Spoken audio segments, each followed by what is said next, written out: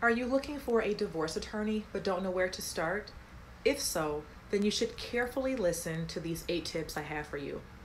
Hello, my name is Danielle Pinkston.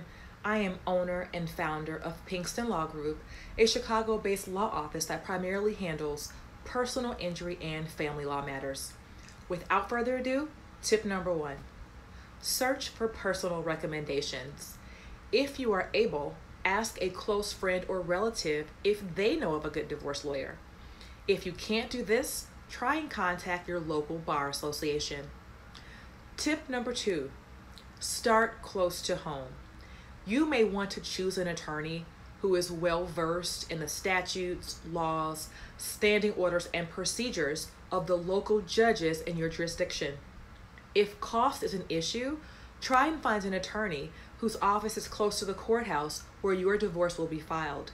This way, you'll be able to cut down on the hourly rates they might bill you to commute to and from other courthouses. Tip number three, choose someone who practices matrimonial and or family law. It is always helpful if your attorney has relevant experience or can get quickly caught up to speed.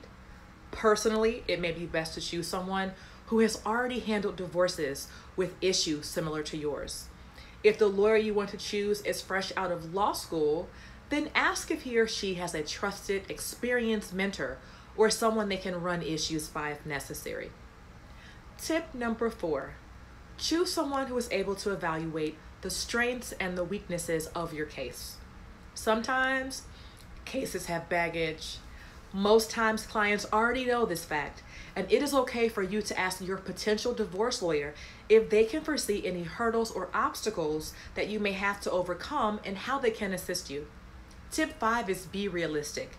Be realistic about the role of your divorce lawyer and what you can expect from him or her. You should realize that a divorce is a legal process with the sole purpose of dissolving marital bonds, distributing assets, determining debts and liabilities, working out maintenance issues, child support, to name a few. Your divorce lawyer's job is to represent you to the best of his or her ability during this process. While you might want them to listen to every detail about your anger, your frustration, your pain, and sadness all the time, that is not necessarily your divorce lawyer's, lawyer's job or expertise.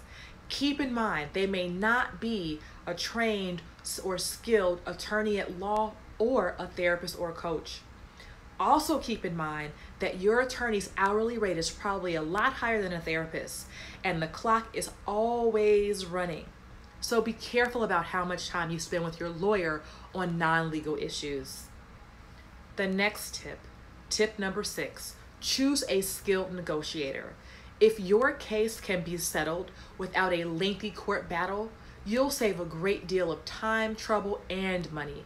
The goal of your divorce should be to come to a fair settlement, agreement, and or resolution.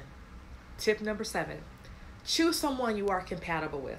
While you don't have to become best friends with your lawyer, you must be comfortable enough with him or her to be able to share some very deep and personal aspects of your life and your marriage.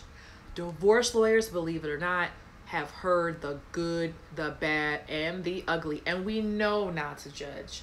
But if you cannot bring yourself to disclose some very important and relevant information to your lawyer, you'll be putting you and your divorce lawyer at an extreme disadvantage. The final tip is tip number eight, and it's price. Ask about the price. Have the price put in writing. Some lawyers bill by the hour for their services, while others charge a flat fee based on the amount of time and labor they think it will take to resolve your divorce. If cost is an issue, ask if your future lawyer offers payment plans. In closing, if you are thinking about filing for a divorce, or if you are currently in a divorce right now, I am here to help you.